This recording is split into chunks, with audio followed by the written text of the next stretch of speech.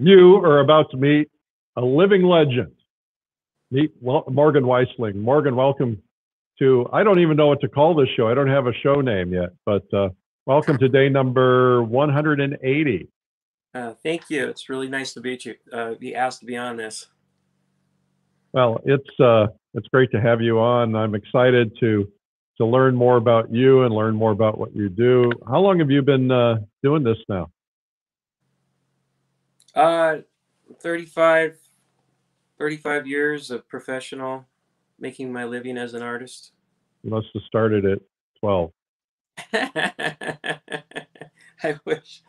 Um, actually, I started.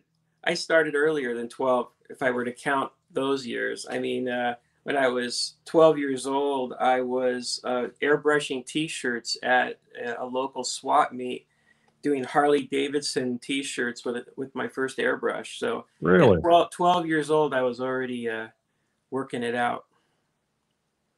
Cool, cool. So what are you gonna what are you gonna do for us today? What are you gonna talk about?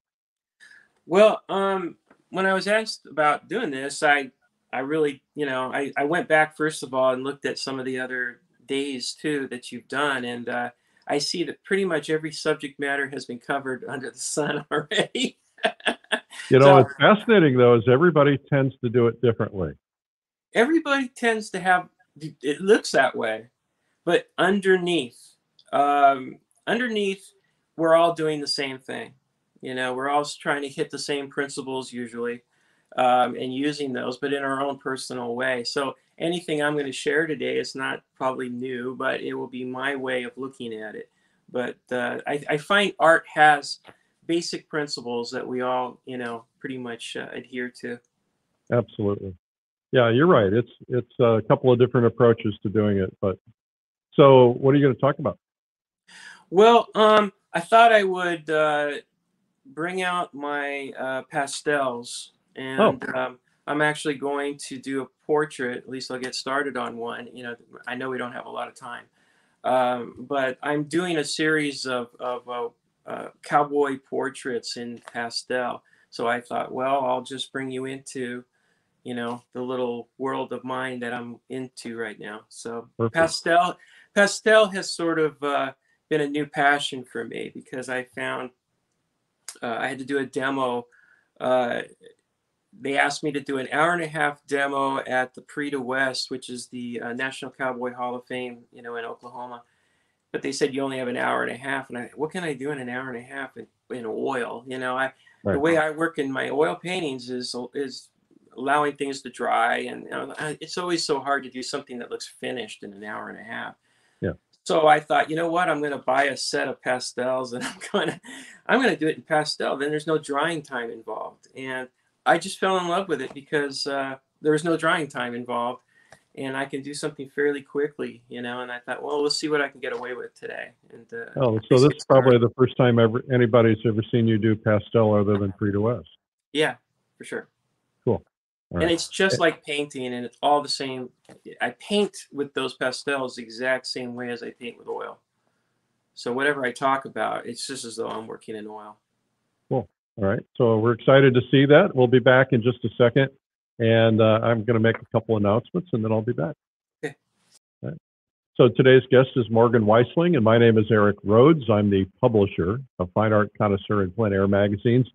And today is day number 180 live. We've been here 180 days in a row for you, uh, trying to get everybody through uh, your quarantine, your coronavirus times, uh, help you stay positive and upbeat during this time when, uh, well, you know, it's kind of hard to be positive and upbeat, quite frankly, with all the things that are going on. So uh, my goal here is just to give you something different, something to do, something to think about, something that would be fun for you. And interviewing artists and having them do demonstrations. I've got some other things coming up where I'll do some marketing. I've got some uh, experts in different areas lined up. You're going to have a lot of fun as we just continue to do this. So yesterday, pretty interesting day. You know, I may look well rested, but um, I um, I had a, a, bit of a day. Uh, so what I did is I hopped off the broadcast and I got in the car. Lori and I got in the car and we drove all the way from the Adirondacks to New Hampshire and uh, did some site selection, some viewing, some uh, seeing where we're going to be painting, seeing the hotel, meeting with some folks, and then rushed back to be here for you guys. And it is spectacular. I'm going to show you a couple of things if I can uh, if I can find a way to get to them here. Just give me a second, and I will do that. Uh, but I wanted to show you. Uh, let's see if I can. Let's just see if I can find them here. Maybe I can't find them. Here we go. First off, I wanted to show you this image. Now, it's a little hard to see this image because, you know, it's a little Uh, off, but this image is an Eric Capel, Eric Koeppel painting. I always get his name wrong. And Eric lives in Jackson, New Hampshire. And this is a spot that is literally right across the street from our hotel. And this is a spot that the great Hudson River School Painters painted and it is absolutely a beautiful uh, stream and, and beautiful area with this wonderful um, vista in the background. And it's just one of the many places that we're going to go. And so there's lots of lots of opportunities to see a lot of beautiful art. And uh, I will have prepared for you sometime this week some more images so you can kind of get a feel for uh, for what uh, what you're going to be painting. But Fall Color Week is going to be spectacular. The fall color is already changing in in New Hampshire, but not as much as it's going to be changing by the time we're there. The the difference between the Adirondacks I've learned and New Hampshire is that the Adirondacks is mostly pine trees. And in New Hampshire it's mostly deciduous trees and as a result you get these hills that are covered with oranges and reds and distant hills and plus these massive mountains in the presidential range so we're going to be staying at a really cool old, uh, classic old resort. It's an old, one of the great old hotels, and it's right in the middle of all this scenery. I mean, you literally could spend the entire week painting off the balcony of the hotel and getting iconic scenes like that. Uh, we have arranged for us we're actually going to arrange to to close the golf course. There's a golf course there that it's going to give us access to a lot of different views and we have a map of all the different places that we're going to go, all of which are pretty close actually. Uh, there's maybe one or two spots that are maybe 30, 40 minutes away, but most everything's 15 minutes away or less. And literally, it could paint right on the property. If we had a rain day, you can paint on the porch of the property, and it's going to be spectacular. So that's called Fall Color Week. It's an event that I do every year, and I do it in a different place every year. And the idea is to paint fall color uh, to really get experience in painting the color because it's tough to do it. Uh, I think it's tough to do it and get it right so it doesn't look too garish and, and so on. So anyway, Fall Color Week is taking place the 12th through the 19th in the White Mountains. Uh, we have plenty of seats. This is the only year that we've had seats left. We always sell out. We've sold out 10 years in a row and uh, we sell out of the Adirondacks 10 years in a row. And we, we have not been able to hold any events live this year, but this year we are actually now going to be able to do it. Uh, everybody's going to have to, you know, socially distance and so on. Of course, when you're outdoors painting, just keep six feet apart. You're going to be fine. But this is uh, going to be a spectacular week. The the scenery, everything is just beautiful, and so that's called Fall Color Week. And you can still sign up. Um, everything's included your hotel your meals uh, the painting uh, that we do you know you're gonna all you're gonna need is transportation you're gonna you can share transportation with others and uh, or you don't have to have transportation you just come to the hotel and paint there every day and you'll be completely satisfied and quite frankly it's so spectacular and and I went out and I looked at some of those those locations yesterday. I also went out and and saw a painting that Eric Capel had done. I'm going to see if I can find that for you um, right now. Hang on a second. Let me see if I can find it. I'm sorry, I'm a little bit dis- disheveled and disorganized, but uh, anyway, that happens from time to time in my world. Uh, yes. Okay. Here's the painting of Eric Capel. Now, my photography isn't great, but as you can see from this painting, uh, this is a. Oops. Hang on a second. I got to take that slide off. You can see from this painting, uh, this is Eric standing next to this. It's about an eight foot long painting, and he's a tall guy. And uh, this is a spectacular piece that he did, and that's where we're going to be painting, and that's what the color is going to be like. you're going to be able to see this painting. It's on display at the uh, local historical society. Uh, it's in their permanent collection, and they also have some of his paintings for sale there. When, when we visited there yesterday, he sold two paintings uh, while we were there, which was pretty cool. But uh, it's really nice to see what you're going to see here and where you're going to be painting and see some of these scenes. And so that's called Fall Color Week, and you don't want to miss that because it's going to be spectacular. So the other things that are going on, well, first off, uh, I mentioned that I was going to give away a pair of value specs, and I am a man of my word, so I'm going to do that. And uh, so value specs will be uh, the winner is uh, Ken Grody of Dayton, Ohio. And value specs are basically these red glasses. We had to formulate the right kind of red. So when you're training yourself to learn about uh, values, uh, this is something you can do that really helps you learn values. And the winner is thumbs up and applause to J. Kenneth Grody of Dayton, Ohio. Uh, we also want you to know that tomorrow, if you're for comments for today's broadcast, tomorrow we're also giving away a digital subscription to Plein Air Magazine. Now, I should mention that if you don't have a subscription to Plein Air Magazine, shame on you. Uh, Plein Air Magazine is the number one selling art magazine nationwide. Yes, nationwide, and we're pretty proud of that. Uh, it's for sale now in 278 Michaels stores. It's the only magazine for sale in Michaels stores. So we're pretty, I mean, the only art magazine for sale in Michaels stores.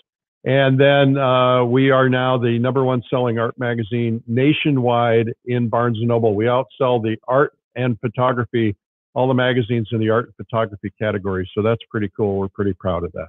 Uh, so anyway, you can win a copy of digital, uh, the digital copy of Plein Magazine. Keep in mind that it has in it, it has 20% uh, more content than normal uh, in the print magazines because we have extra room for it. A couple of things that I want to let you know about. First off, we have the artist and selfie competition. We've been doing self portraits, as you know, and uh, a lot of us were doing them at the beginning of COVID back 180 days ago. And uh, I'm trying to get people to do self portraits for historical purposes. I would like you to have uh, a portrait of you or have you do regular self portraits every couple of years uh, because it's part of history. And I'd like paintings of other artists. I'd like you to be doing selfies of you. I'd like you to do paintings of your studios and paintings of artists doing plein air. And so we're doing a competition. The uh, entry for that is October 10th. You need to get them in, and then we're going to give away the prizes on Realism Live, and and uh, we will have a public broadcast for that part of things, so you can see the broadcast uh, if you're not part of Realism Live. But then again, why would you not want to be, right? Uh, coming soon, very soon, I went over to Russia back in March, right before COVID, and I filmed this amazing uh, video with the the Russian master Nikolai Blokhin, and it is going to be epic. I mean, it's just spectacular, and that's going to be coming soon. So I want to make you aware of that. Uh, we have also now some some new things uh, for Realism Live. We have Dean Mitchell has been uh, added to the faculty of Realism Live, which is our online five-day virtual. Essentially, it's like art school for five days. Uh, just a flood of information with the top artists in the world. Dean Mitchell is going to be teaching. Uh, I just mentioned Eric Koeppel uh, he's going to be there teaching. Aaron Meads is teaching beginning drawing for you. Uh, we have Jesus Emmanuel Villarreal uh, teaching Todd Casey, Stephen Bauman, Cornelia Hernes, uh, Jean Stern will be speaking. Mark D'Alessio, uh, Tony Curanaj, Connor Walton, William A. Schneider, Kathy Odom, and Kathy Anderson, Jeff Legg, Daniel Graves, Daniel Gerhartz, Victoria Herrera, Juliette Aristides, Daniel Sprick, Joshua LaRock, Rose Frantzen, and Graydon Parrish. And last but not least, no, I'm not going to tell you. That's too big. I got to tell you. No, I'm not going to tell you. Well, I can't tell you yet till the paperwork is the ink is dry. But I'll tell you maybe this week, maybe tomorrow. But we have. Uh, I just got to tell you that once everybody sees this name, they're going to be like, how could I not sign up for this? I mean, first off, all these names, these are world class artists. And, but when you see what's coming tomorrow on top of these world class artists, you're going to get you're going to want to get signed up. And of course, if you get signed up before the 30th of this month, you're going to save a couple hundred bucks. The price is increasing. So it's four days, but there is a beginner's day on October 20th. And if you're wanting to learn how to do portraits or still life or figures or landscapes, uh, uh, you know, basically any subject, we've got the beginner's day and then we have all these amazing artists. And so hang tight. We're going to have a major announcement, but don't delay. You've got a 100% money back guarantee. If you watch this thing and you don't like it and you say, I didn't like it, we'll give you your money back. You watch it all day, first day. And if you don't like it, just let us know. We'll give you your money back. We're going to cut the cord for the rest of the days, but you'll you, you won't have to pay for that first day. Now, don't take advantage of that. Don't don't don't not come. But we would love for you to come. That's Realism Live. Also, a couple other things that are happening. First off, the plein air convention is going to be held in person in May if it's allowed. And again, there's a 100% money back guarantee if you have to cancel because of if the COVID stuff is still going on then. But uh, it, it probably won't be. Uh, let's hope not anyway. Uh, plein air podcast, you want to make sure you look for that. Every week, a new interview with a different artist, a plein air podcast at outdoorpainter.com. And uh, one of these days, I'm going to get this done. I've got all the agenda worked out for Paint Russia. we we've got the pricing worked out. We're just going to got to get it out to you now. And so uh, it should be any minute now. But go to Paint Russia and register if you want to go to Russia with us. It's spectacular and it's a trip of a lifetime. And the Russian art that you're going to see is going to blow you away. So you don't want to miss that. Now, today at 3 p.m., we have a very special guest, and that is Morgan Weistling. He's uh, got a video out that he did many years ago called Painting for the Impatient, and it's essentially a portrait workshop. And that's today at 3 p.m. We also have this other video that Morgan did. It's called In the Studio with Morgan Weistling called Homework. And that's a, a Liliedahl classic as well. These were done a, a while back. But uh, I want to show you a couple of images of Morgan's work, and he may want to talk about these but I'll just kind of flip through them uh, because he's our guest today. And obviously, Morgan focuses on historic West and uh, just does absolutely fabulous work. And I'm just really excited to see him do a pastel portrait. So today, Morgan's going to be all set up, and he's he's there with us now. Morgan, there you are. I can't get all of us in at the same time. Sorry. Okay. Well, is that Annie Oakley? That I like it. Yeah, that is uh, a portrait I did just last year for um, the de West show over there at the National Cowboy Hall of Fame, and uh, I'm I'm showing this right now. I know I don't think you can see all of it there, but uh, we see, we see pretty well. Yeah. Okay. Um, I'm pretty much what you call a narrative painter, and I'm usually telling some sort of a historic story or uh, a story in general uh, that I'm trying to get across. And when you're putting together something like this, and it's obviously, you know, she lived over 100 years ago, um, you know, I'm trying to piece together historic photographs as well as bring in live models and then throw it all together into some sort of cohesive storytelling single image that kind of represented her. That's you know a, a, real task actually when you're trying to do something special. And so I thought I'd talk about planning ahead. Um, I'm going to do a little pastel portrait in a couple minutes, and um, as I was doing that, I was thinking ahead already. You know, just like I do, even when I'm planning something a little more grand like this, where I've got a lot of different elements. Um, and what I do is I try to first sort of think about it in black and white and think about what the overall pattern would be. And so I, I'll often do uh, many thumbnail sketches and uh, sometimes with pastel, actually black and white pastels, I'll, I'll kind of work things out. And uh, with this particular design, I wanted her to be hit with a with a ray of late night, uh, late late afternoon sun, um, but she's cast half in shadow, and I wanted to get a little bit of play between silhouette and and uh, light against dark and dark against light. So I I do these kinds of little sketches uh, to play with the idea of thinking ahead, so that when I get involved with all these things I'm going to have to do, I'm not overwhelmed where I I completely lose my mind and just started painting detail.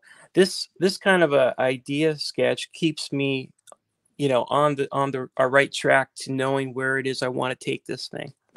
And then after I decide on the value arrangement, which like I did on that, then I'll sit there and do an oil sketch uh, like this to really get myself in gear as to exactly the colors I want it to have. But again, the whole time I'm doing that, I'm I'm, st- I'm still thinking about the overall design.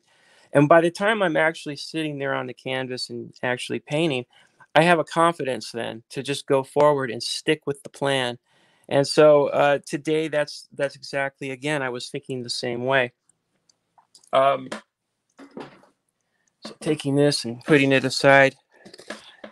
This is another example of a painting um, that uh, I was trying to decide how to manipulate the values and everything. And I did another black and white little sketch, and then I did a another color. So I'm I do this for every painting I do. I, I don't I don't ever skip the process because it gives me a confidence of knowing where I'm going to go. So I did that for this today. In fact, I last night was trying to decide which uh, head I was going to do, and so I did a little sketch. These are some of the uh, warm ups, really, uh, for uh, when I was doing that demo uh, that I talked about earlier for the Prix west, and uh, just warming up. And this is hopefully something like what I'll, I'll do in the, the short time we have together. Morgan, I got to tell you that those are some of the most fine portraits I've ever seen in Oh, any medium, but I would never have guessed those to be in pastel had I not known you Well, you'd done that. like I said, I I had decided that I wanted to. Uh, thank you. Uh, well, I wanted to um, do a demo quickly for somebody at the, you know, for the people at the Prix West, and I thought, you know, painting for me is just drawing with color, and uh, so long as I keep that mindset, uh, you can pretty much know that you're going to have something somewhat successful if you've never lost your mind and and and, and stay with that main idea draw draw draw draw. And uh you know when i work from life and i'm i've got maybe a lot of people around me and and uh you know i i can get nervous and and i, I i'm thinking oh it's gonna it's gonna just fall apart and i have all these people watching me um I have one single idea that keeps me going and keeps me calm, and that is draw, Morgan, draw. I just say that to myself over and over. Just draw. It doesn't matter if uh, your values are a little bit kooky right now, or your edges aren't completely worked out, or even the design. Draw, Morgan, draw. And that usually gets me through over the hump of nervousness and keeps me focused and i do that throughout every painting i do as i i keep reminding myself that you're working with oil paint or you're working with you know now i'm using some some pastels but it's all still drawing you know and if you can keep if you can keep that mindset uh, you can paint in watercolor you can paint in any other medium you want and i found out that in acrylic i mean in um, pastel here uh, it was so close to oil painting that I picked to it, picked up right away. I mean, I literally in about two months was able to do the demo, and I felt like uh, you know I was I was uh, practiced enough with it. I'm not exactly an expert at it, but um, I'm gonna put these aside.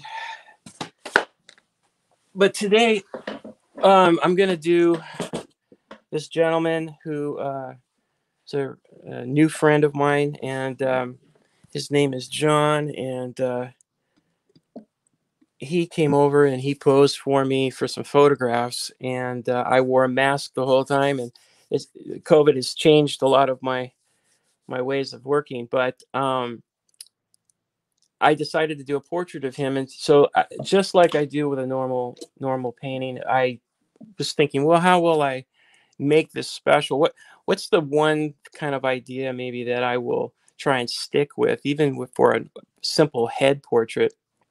I'll continue to work on this after this shuts off, and I want to be able to, uh, you know, call this a, a finished pastel.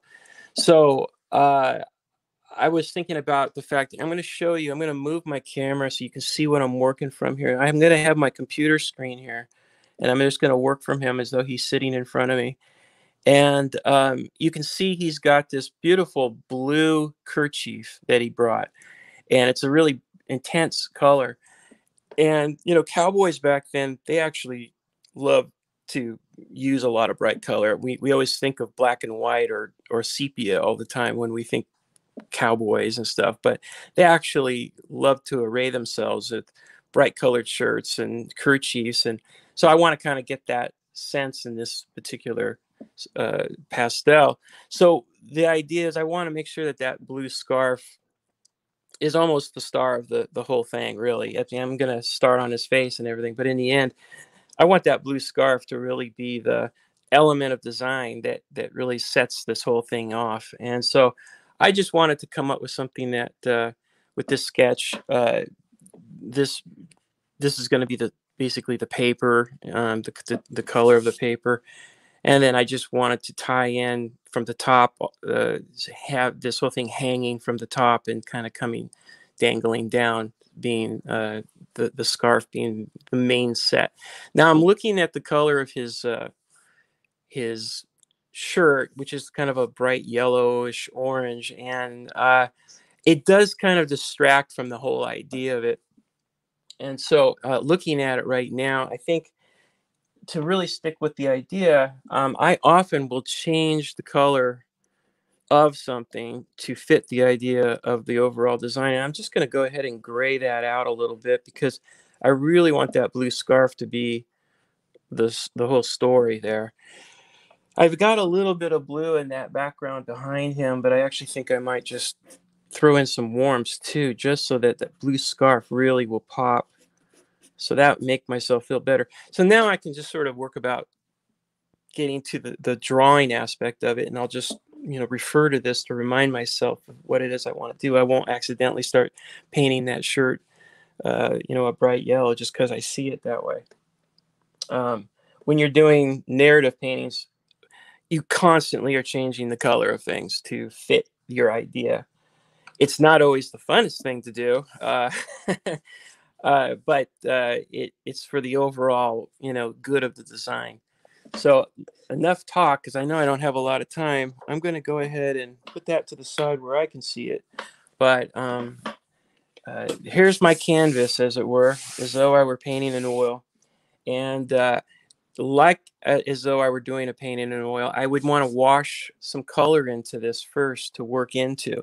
Are and, you uh, using uh, a uh, pastel paper or sanded paper, or is this? This is a just a can Canson paper, just normal okay. pastel Canson paper, uh, and uh, I'm going to look at my fellow here in front of me and kind of just think about it, if I was doing this in oil, I would actually be just putting some washes down that would be uh, his skin tone, and I'll work into that skin tone. And I'm looking at my sketch, and I'm just vaguely getting. I don't mind if some of this gets into other things. I like the idea of bleeding color, uh, which is something that happens in watercolor, and I love bringing in what other mediums do and sort of trying to mimic it with the other a different medium. So in this ideas the idea of like if i was putting down a wash in watercolor and letting it bleed into the hat or something i, I really am not trying to uh, be careful here obviously.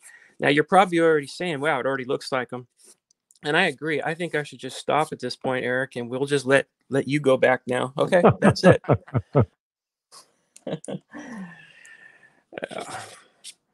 All right, so I'm going to add some of the colors I think will be there underneath so I don't have to go and paint every single little tile of color to fill this out. I'd rather have something that's going to show through. A lot of this will just remain. So there's no point in, you know, uh, just rushing too much through it. I'm, I'm actually thinking even value uh, just a bit where his cheek is going to be a little lighter, his nose is going to be a lot lighter. Um, I, am actually thinking of some of the grayer areas, like his chin, where he's got whiskers. So I can throw in a little bit of just gray, um, see if any of that shows through, like a watercolor. I love watercolor too, and I love, I love the freedom of letting the color kind of just accidentally show up places that you wouldn't have probably put. So anything that can make that happen in a in a painting uh, that's a more opaque kind of uh, medium like this or or oil, I um I I try I try to do anything I can to make that accident happen. Now I'm kind of rubbing it with my finger to get it embedded into the paper so that when I start working over this, uh, it won't even come up and destroy the value of, of whatever I put over it because it's pretty embedded. It's like it's like a wash. It truly is. It's just like in in oil. So it gives me a place to start.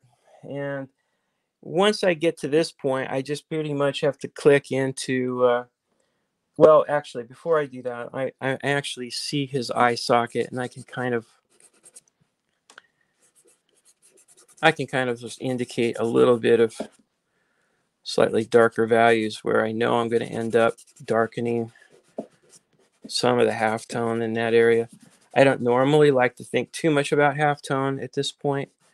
Um, and Eric, if I ever say any words that you, I know you've done this to many artists where you make me define things. You you go right ahead and just tell me. All right, to, I'll do that. Define. I'll but, stay on top um, of it. I'm assuming probably everybody knows what a halftone is at this point, but uh, and you've done such a good job, you know, educating the world. Really, uh, I was thinking about it with all the work that you've done with art instruction and where I was when I was in school. Uh, you know, uh, 40 years ago, um, there was nothing there there really wasn't anything to uh, well obviously no internet but even videos you know were very rare i think daniel greene was the only guy that i remember having a real video that somebody had bootlegged and brought into art school but uh, you know wow so much is available now there's no excuse for not knowing the principles and the fundamentals of art so uh, now that I've got that down, I'm going to start drawing and getting something fairly quickly, hopefully. Uh, I'm using a, a, little bit darker. Um, Are these hard or soft pastel? This one is like a medium uh, that I'm drawing with. I'm just sort of getting my my, my bearings. I'm, I'm jumping in and I'm just sort of uh, getting started. I'll start going softer and softer, but this one is a little bit of a hard and I have a mix of uh, different brands. I, I uh, ordered a few. I can't even remember now what these brands are. But since they're not paying me, it doesn't matter. I don't remember. But uh, they're fairly good. They were fairly expensive. I think the whole set originally. I'm I'm using here. I should show. This is one tray. Um, let me see. Where's the camera? I can't see the the thing when I'm working here. Yeah, you got uh, it. You got it. You know, I I what I did was I got two or three sets of different types, and then I um I broke them down into the flesh tones that I'm going to probably always be jumping into, and then my my tans, and then my my darker browns and browns, and then uh, I've also got my greens, my blue, my grays, my blues, and then the bright colors that are going to be just once in a while for accents, but uh, oh. Anyways, I'm getting distracted by something right there. Uh, anyways, uh, because of the way I've set it down, I can jump now right into all the, the original uh, uh, sets of every color of flesh tone, so I can really go pretty quickly here. Um, th- this is the one limitation I do find, though, which is you know when I'm painting in oil, I can really mix exactly what I want.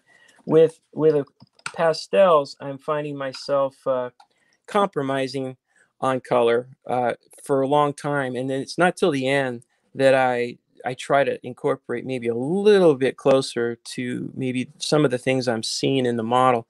But in the beginning, I'm just using value and general color, but you know, I it's not like every single value is there at my disposal, at least not in my set uh, pastels are expensive. So I, I think I spent, you know, like 300 on the first set and then I still felt very limited um, on values for every color I wanted. But you know what you lose in in that you make up for in speed when you're having to uh, do things too. Uh, uh, this is apropos for for later on. You're showing my video of painting for the impatient, and um, that's uh, this is this is great for impatient people. Uh, pastels are are wonderful because they are such a, a faster medium.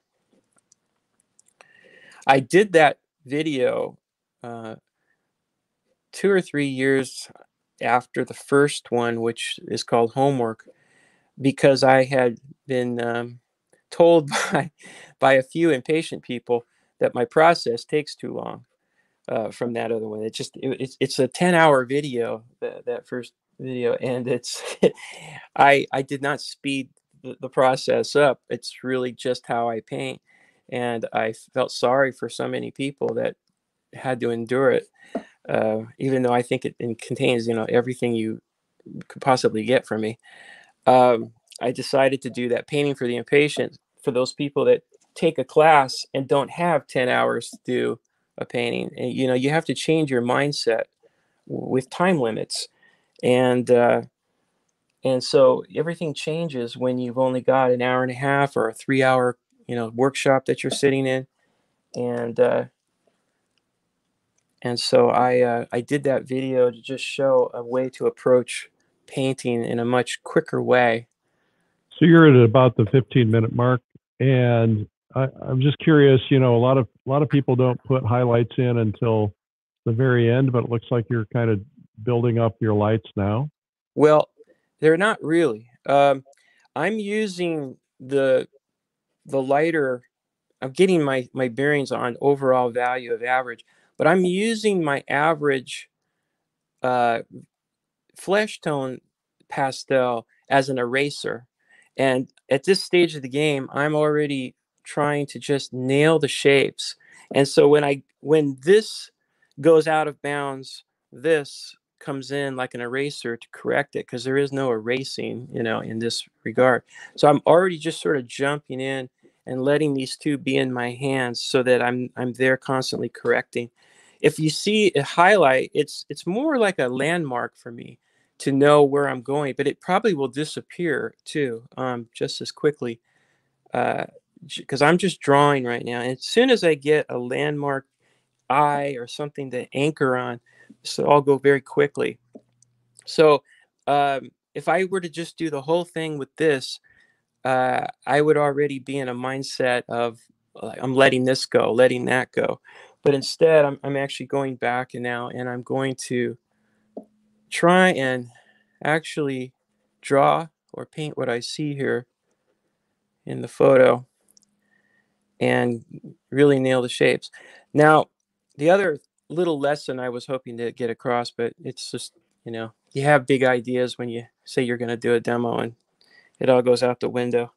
But uh, while I'm doing this, I'm trying to say to myself, you know, draw Morgan, draw.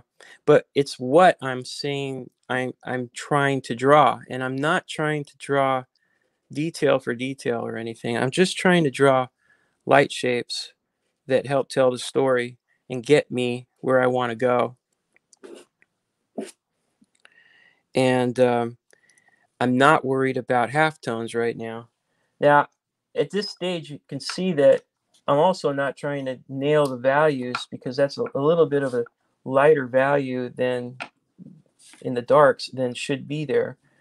But um, that's going to bother me as I keep going forward. So I'm I am going to just throw in if I can find the right uh, color.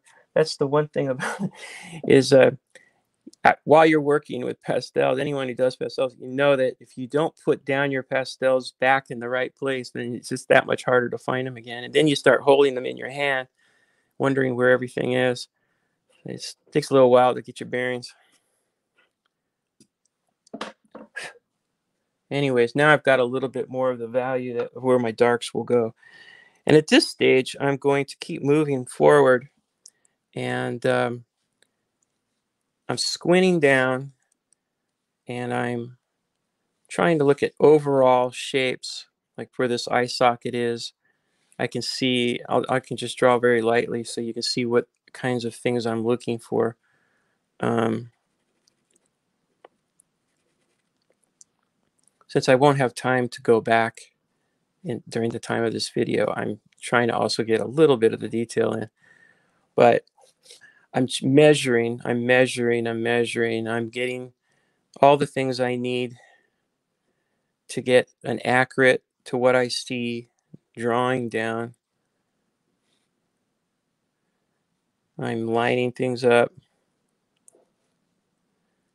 tear duct to tear duct. Looking for relationships from eye to eye.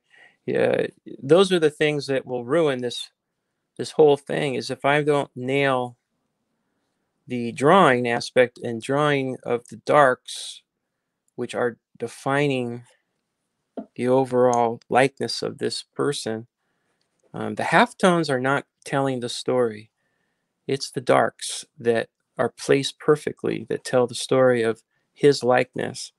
And if I don't nail that and spend a, a little bit of time on that, then no matter how many fancy little strokes I put in later with the side of the pastel and it looks all flashy, it's still not going to work because they're not in the right place. Something's out of place.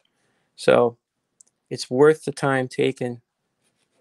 And it can be, this is the boring part to watch. I, I, I always feel for people who are watching a demo and it's just measuring is not a romantic, flourishy thing. It's just hard work. And it takes a long time when you're working on a big gallery piece to get all the measurements down. It's just, you have to have patience.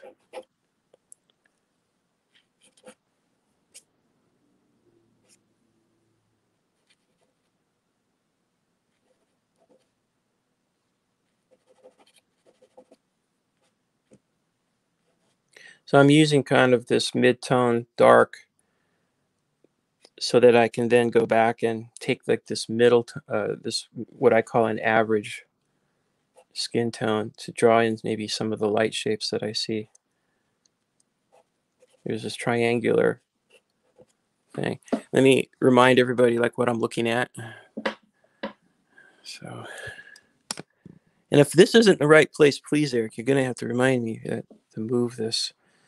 No, This- you're doing great. Okay. This phone is like right near my chest. I'm surprised I haven't knocked it a few times already. You got about 12 minutes.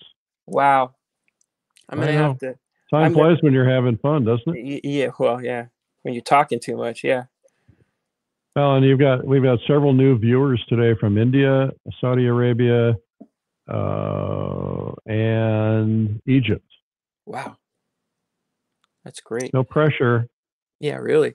um, I I use a something straight, usually a pencil, to just shoot some plumb lines down, and I'm I'm shooting a plumb line down and seeing that the nostril is lined up as usual with the tear duct, and now all I do is just use um, a little bit of a half tone. I'm I'm measuring from here to here. Um, getting where that cheek crease is, but I know that this nostril now is going to line up about here. So it's just a matter of judging how far down his nose is, how large his nose is. Uh, sometimes I'll look at, you know, the uh, the triangle that it can create, and it's just a right about in that area. Um, you can do other landmarks. Once again, I could go like that and look here but it, it's kind of important where you finally nail where you say the nostril is because it's going to indicate whether you get the length of the rest of the face correctly whether he's going to have a long face or a short face or i'm just plotting my way along.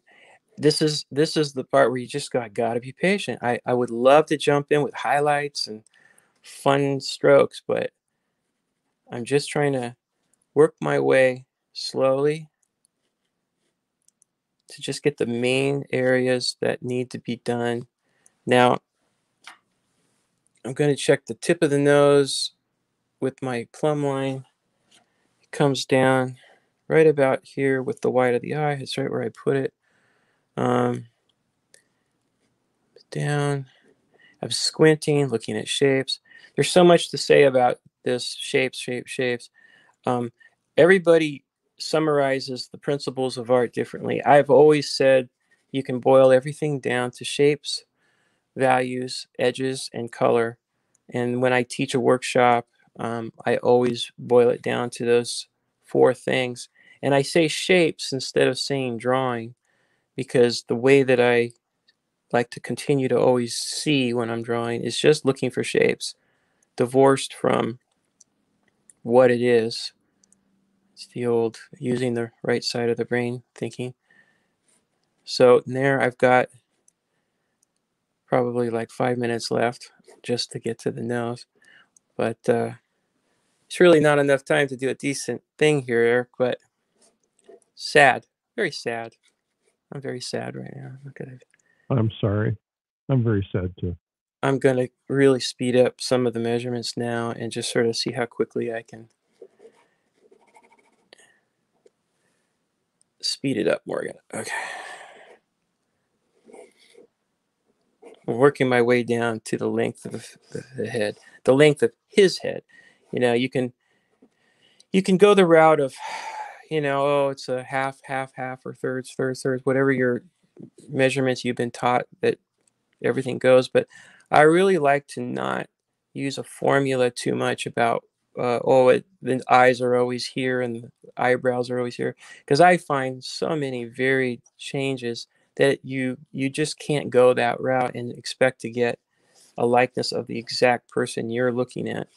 So I just literally just let it happen in front of me. What I see is where I put it rather than um, the old formulas I was taught. Even you know, it's good to learn them. Uh, Andrew Loomis got great charts uh, about the proportions of the head, and you should always know what the ideal proportions are.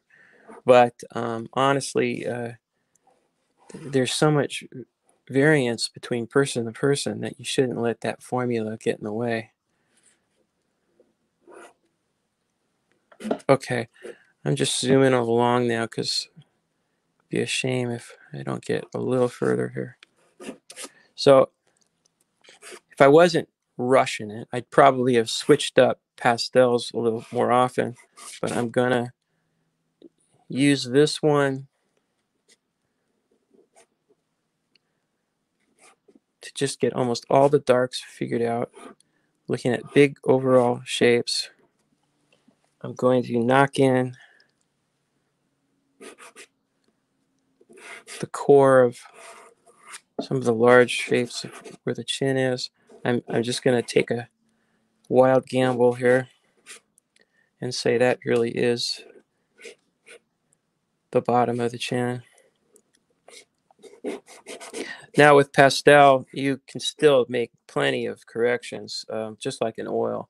I find I can really actually um, erase just about anything by just going over it with another soft pastel. It's it's really kind of fun because then it creates a whole nother like color vibrance thing that goes on when you just layer it.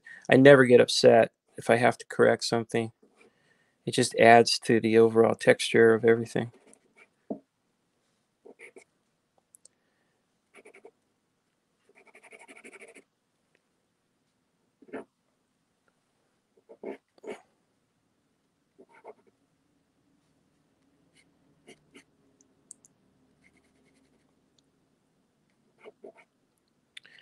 And I'm just trying to paint the way the cast shadow is defining the mustache and upper muzzle.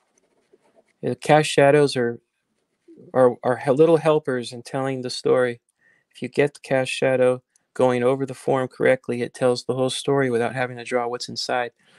Um, I have a whole thing that was taught to me when I was in art school, which was my teacher showed me how the actual areas inside the light and inside the shadow are not important. It's only important where the two meet.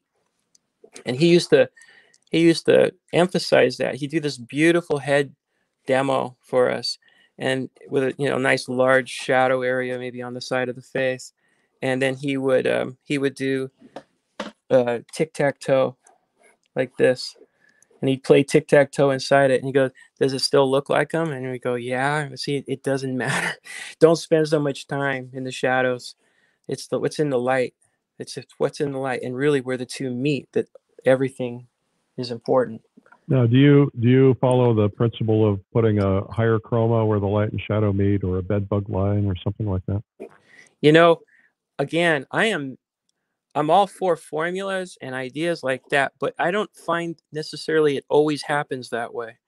Uh, it depends on the color of the light, the source of the light, the strength of the light, all kinds of other things. So I don't just automatically go.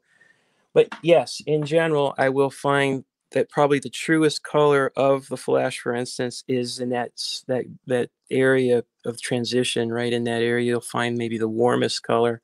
If it's a cool, cool light, you'll find your warmest areas as they start to go towards the shadow.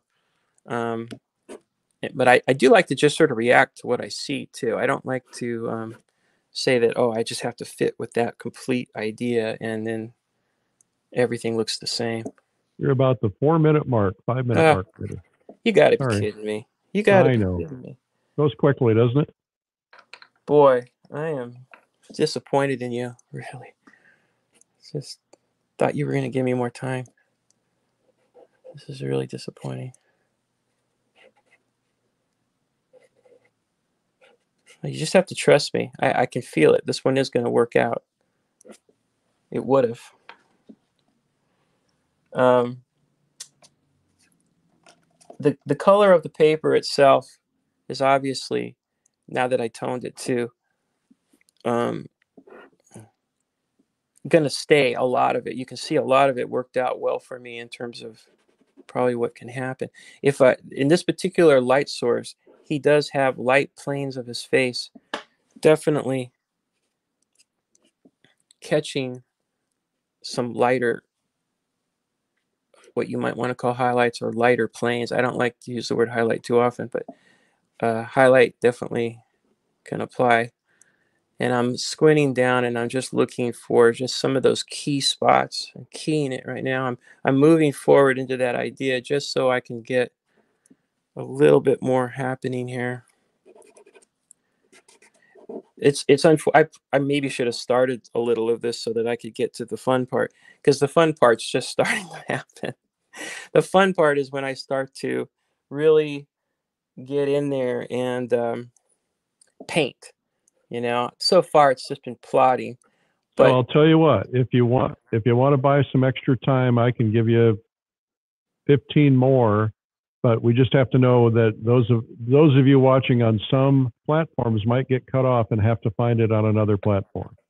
That's up to you, Morgan, if you want to do it. oh sure, I, I wouldn't mind 15 more minutes. Um, All right. be fun. So All right, You you know- got it. Now, just it, for those of you who are watching, you might lose it on Facebook or YouTube or Twitter. I'm not sure where you're going to lose it. So, uh, in case you do, just look for a Streamline Art video on either Facebook or YouTube, and uh, hopefully it'll continue. If not, you can watch the replay later.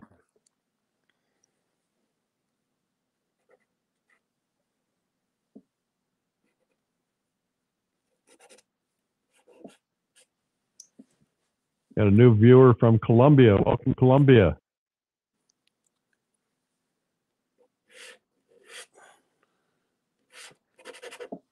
Everybody's saying, "Yay, more time."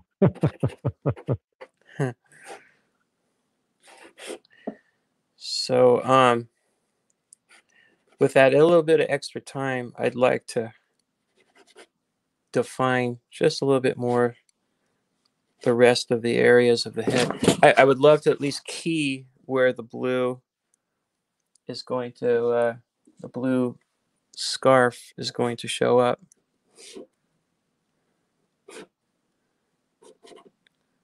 I find that even if you can't get to the whole thing, it's always a good idea to at least get a spot of it just so you can reference it and reflect it into some of the other colors. Um,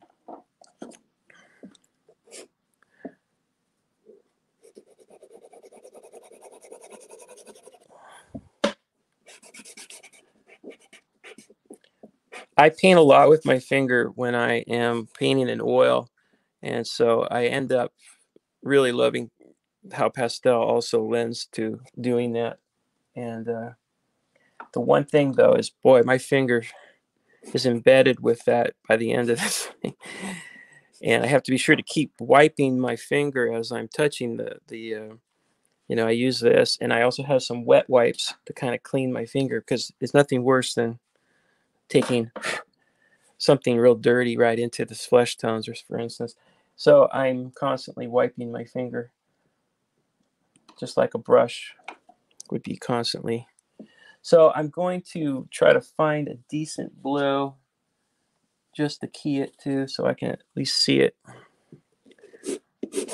I'd have to say that I'm not really seeing a, a good blue in this group that I have ready. I'm just going to use more of a turquoisey for now. I can always warm it up. I'm just going to interrupt real quickly. For those of you who are at the end of the broadcast, uh, you may pop off. Uh, we're going to go long today. We normally go one hour because some mediums will cut us off, but uh, we're going to continue. So look for us at Streamline Art Video on Facebook or YouTube, and you should find it. If not, watch the replay. Um, and if you can't continue after the one hour mark uh, because of lunch or whatever, I understand. But thank you for watching. Our guest is Morgan Free, uh, Morgan Freely, right? Wes Wesley, and and uh, and uh, I'm Eric Rhoads, publisher of Fine Art Connoisseur. Also, check out realismlive.com. You're going to want to go to that. Okay, we're going to continue on and hope it doesn't cut off.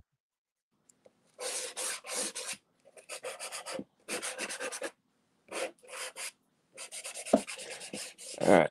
I, I'm not going to waste my time at the moment just drawing hat for you guys. I'm going to get back into the face just so we can have something to play with. Um, the ear is going to go there. So I'm going to throw in a wash now of where that ear would probably go. And uh, the ear is kind of in a mysteriously shaded area, whereas the hat is starting to cause it to go into shadow. So fun range of values there. Subtle though. So I'm going to go in now and start. I feel like I've got it overall like plotted out. And I'm going to start throwing in what I would do if I were painting it in oil, which which would be now my halftones. So my halftones are going to not go too dark. I try to maintain my lights as much as possible so they don't get, uh, you know, too muddy and um, there are some key darker halftones, though, that are telling the story of the form that I can't ignore. Otherwise, it'll just be a little bit too flat. But this is where I start working in the light. But again, nothing in the light should ever go so dark that it confuses the overall structural quality of light and shadow. Um, there's plenty of rules I could go over, but I will Try to concentrate.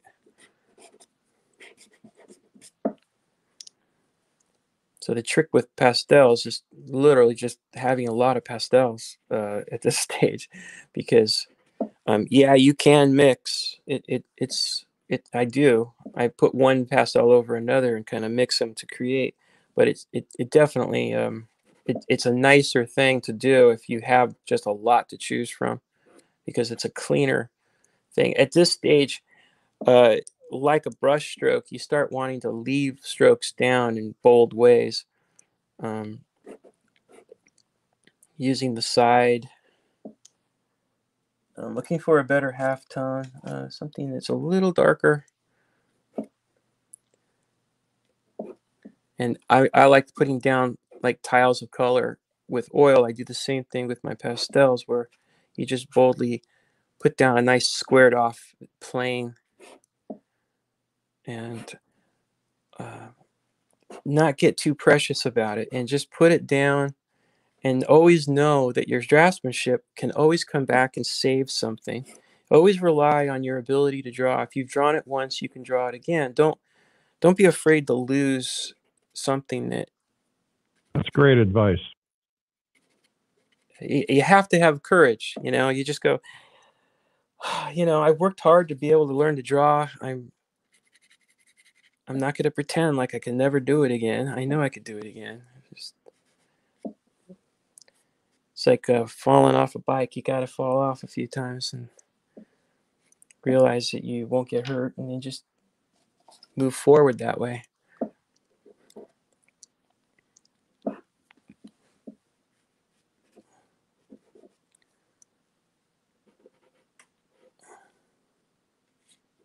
Just pumping up that a bit to give myself a fuller range of value.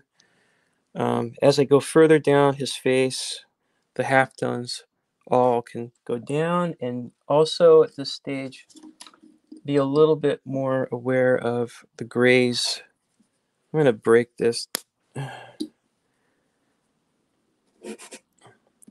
His his whole You lower to talk face. about the, the uh, principle that's often taught about uh, the colors and color bands and the different areas of the face?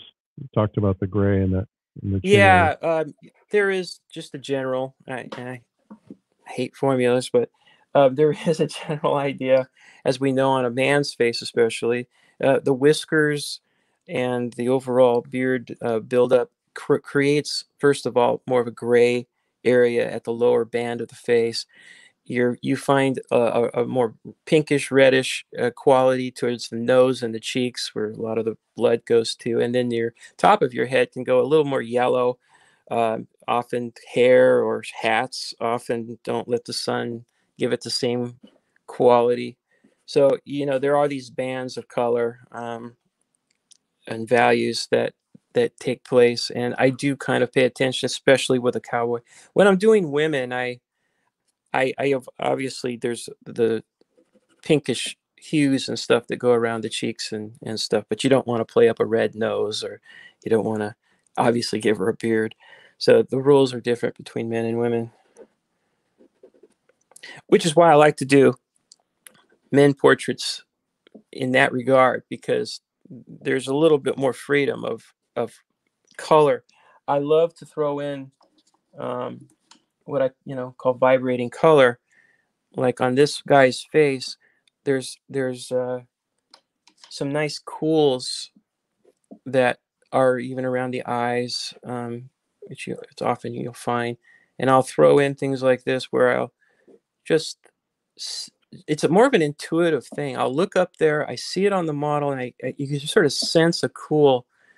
If you eh, open your eyes and you analyze it too much, um, it'll disappear sometimes. But I don't mind a little bit of overall vibrating blues or greens or purples once in a while coming through. Um, I actually see it adds a little bit of realism, uh, a little bit of detail without actually putting in detail. It just gives the sense of it. Rockwell was was a master at that. If you look at like a hand that he would do, there wouldn't really be as much modeling as people think. It was it was all done with vibrating color. There's so much that you can get across just with that. You know, hands have veins that run through them that are blue and got red knuckles. It's just like a face. It's just some beautiful things to look out for.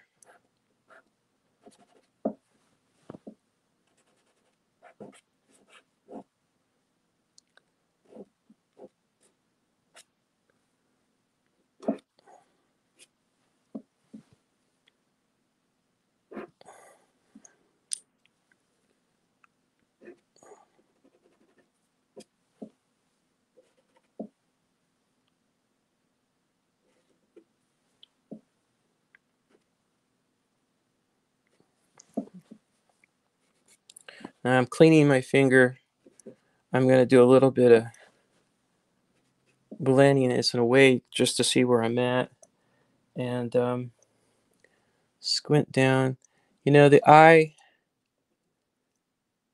has these wonderful little indications of the fact that it's the only wet thing truly, you know, on that head. And it does glisten and have just a little bit of a highlight here and there that, that indicates that. And you never want to have eyes that just look dry. You never want them to, to look like they're made of the same color flesh or anything that's there. They, they truly are different in that they're wet all the time. What, Um, uh, can you tell us what the color is you're highlighting that getting that wetness in? Um, a lighter version of the flesh Um, Okay. Right. uh, just a very light flesh color sometimes, or it depends on the color of the light. In this particular case, you're safer in that way uh, if you most of the time go towards that color of the flesh. You're going to love this comment. Tirtha from India says, Morgan, watching you draw and paint is the closest thing we can get to watching the golden age of American illustrators paint like they did years ago. You are a real inspiration to us all. Oh, thank you so much. I um, I will write a check soon and send it right off to India. Thank you. uh, that is truly uh, uh, the source of much of my inspiration as an artist is is the golden age of illustration. Um, my own teacher used to have Dean Cornwell come in and sit once in a while uh, and and teach because Frank Reilly was his teacher at the Art Students League back, and I was just taught to appreciate and love all things uh, at that time of of the golden age.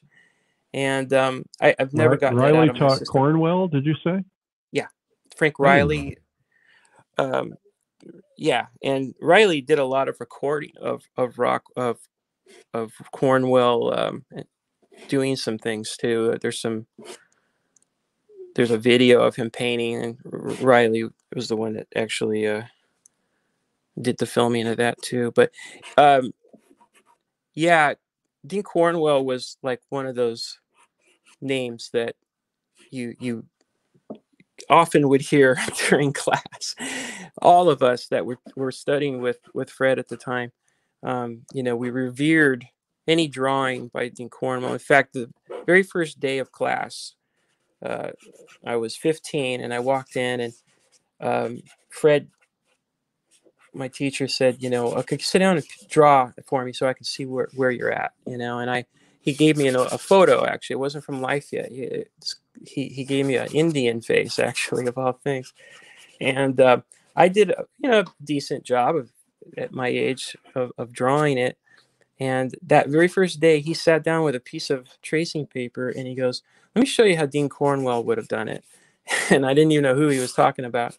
And that from that point on, it was just a constant source of, "Well, let me show you what Dean Cornwell would do." And um, I took that uh, drawing that he did that very first day, which would be hundreds later, and uh, I have it on my wall to remind myself of some of the lessons.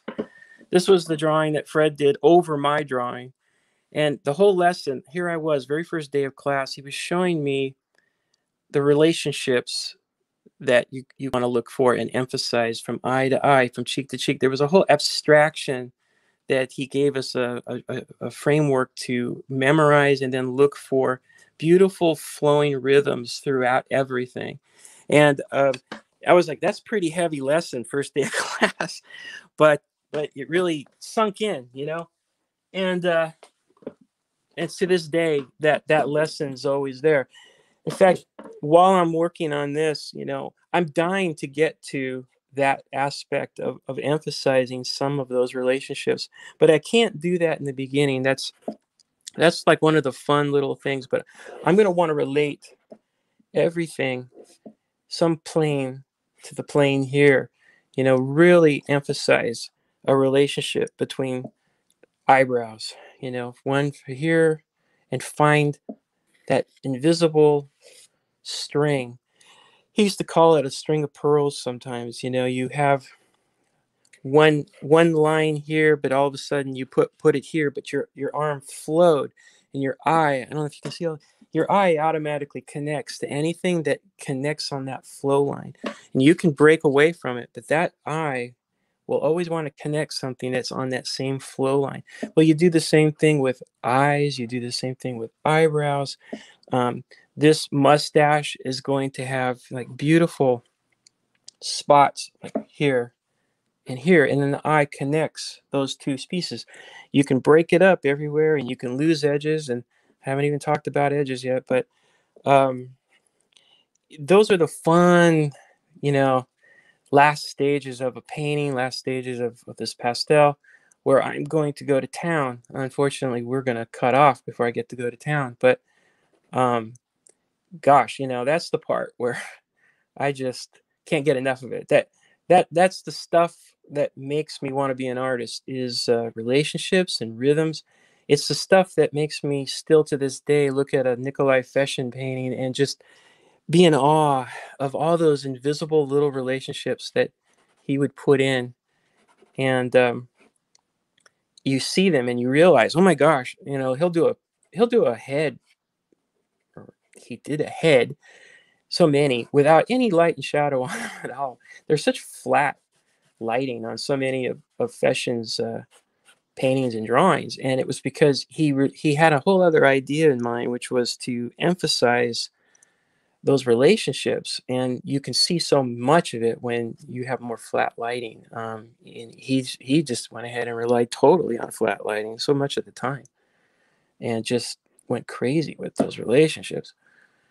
But sometimes you don't notice them because he went so crazy with all his brushwork too and you didn't realize that underneath all of that were these beautiful hidden lines i mean you look at his drawings you can understand how he painted and that's that was a key understanding for me is studying the drawings of painters to understand how they painted um, you know like anders zorn etchings are a complete blueprint of how he thought while he painted He's telling you everything you need to know right there. It's like uh, little secret art lessons in every drawing. And Feshin did that, showing all these secret little relationships that he was he was doing, but most people were missing.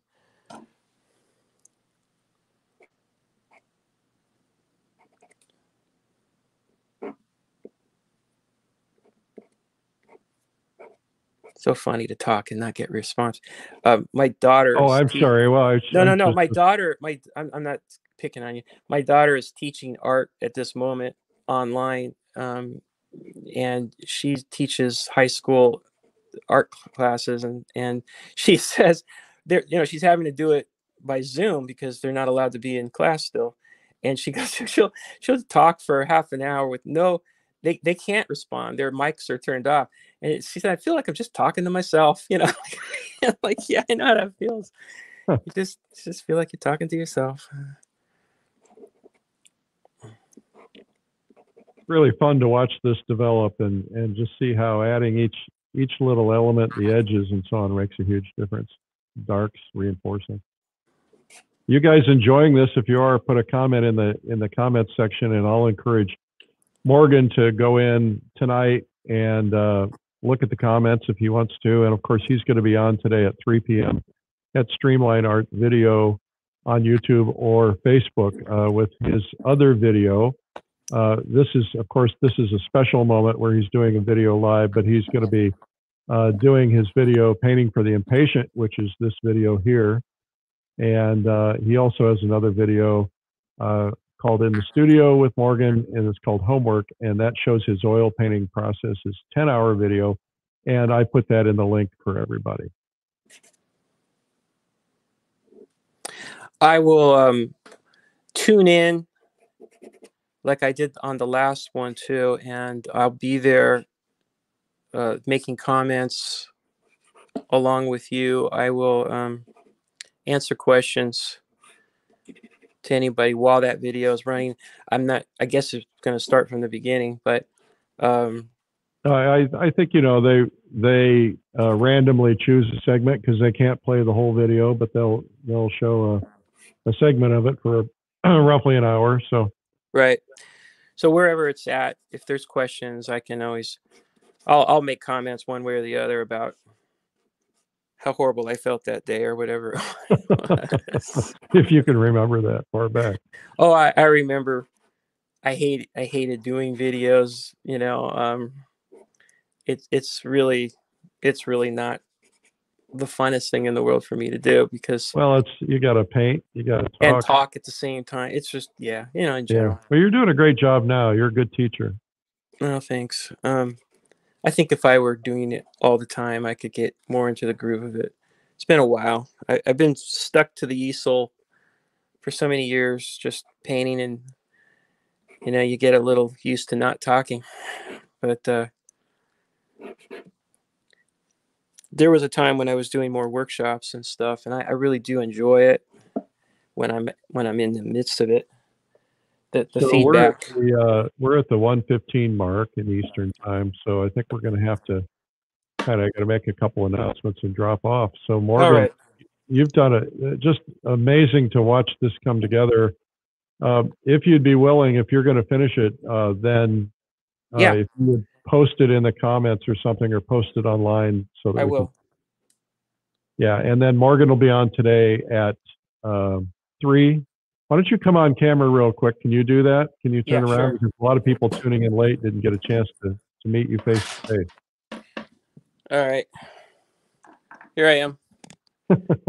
Here's my messy Can't, can't see you. There, we, My there we are. my messy studio behind me. Uh, thanks for tuning in, everybody. I appreciate it. I hope you enjoyed this. And uh, again, I'll be at three o'clock. I'll be taking questions. You can even ask questions about this if uh, if uh, you have any.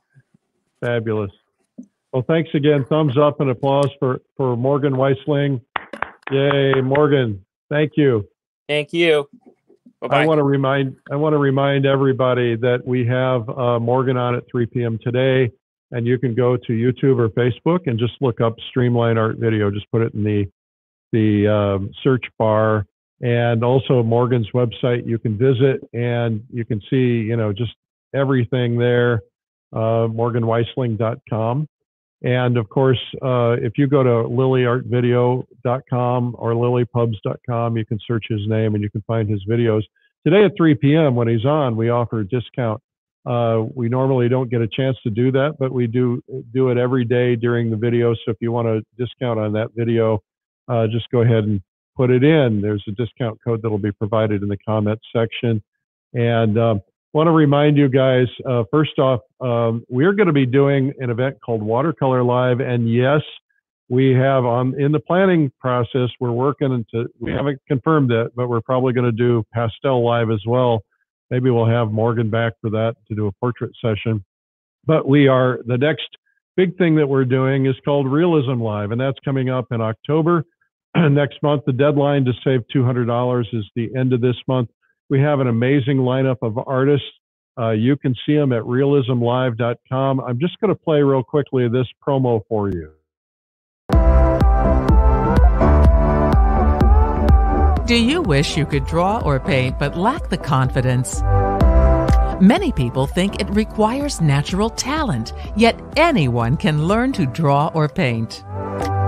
You could spend 3000 or more to attend a live workshop or convention, or you can learn it from the world's finest for a fraction of the cost at Realism Live, the world's first virtual online art conference devoted to realism. Four days of world class artists demonstrating in portraiture, landscapes, still life, the human figure, flowers, color mixing, drawing, painting, and more. Realism Live, October 21st through the 24th. And for people who want to learn painting from scratch, start with our Beginner's Day on October 20th. Soon you'll be painting faces, people, flowers, scenery, objects, and other subjects. You'll see your artwork get better faster as you learn from top artists from all over the world. Make history as part of the world's first Realism Art Conference. Sign up today and join the world as we learn art together. From the publishers of Fine Art Connoisseur, Plein Air, and Realism Today. Realism Live. Sign up today.